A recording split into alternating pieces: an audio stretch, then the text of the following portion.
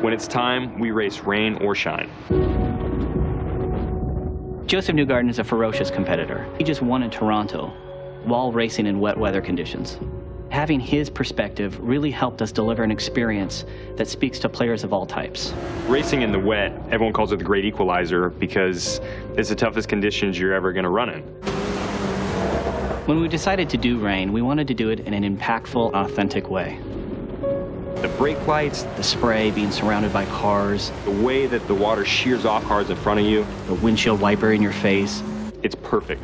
We have 148 unique drivable surfaces, Rumble strips, grass, gravel. cement, tarmac.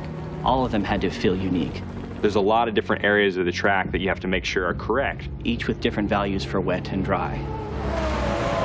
We approached researching this in the most authentic way we could. Going through old race footage, doing our measurements on the track itself, we were able to recreate where every single puddle was placed. I get to drive multi-million dollar simulators, and none of them that I've experienced have had wet conditions built into their model. So for Forza to be at the cutting edge of that is, is pretty cool.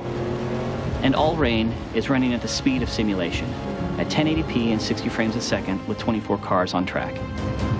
All of this wouldn't be possible without the Xbox One. Forza Motorsport 6 has reached a new level. They are always pushing the boundaries, and I think they always deliver.